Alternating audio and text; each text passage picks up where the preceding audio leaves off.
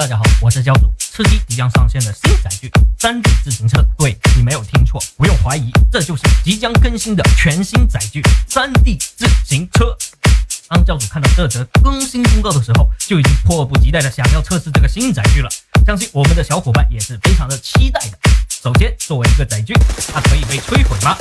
我们先用各种武器对其进行摧毁实验，无论是车身还是轮胎都无法被摧其次是自行车几乎不会发出任何的噪音，可以满足隐蔽移动的需求。此外，驾驶者在驾乘状态下还可以开枪，只要使用得当，绝对能打敌人一个出其不意。当需要收起自行车的时候，只需要打开背包，鼠标点击自行车就可以放入背包，只占背包七十的容量。在需要使用的时候，再次点击背包里的自行车，可以再次打开使用。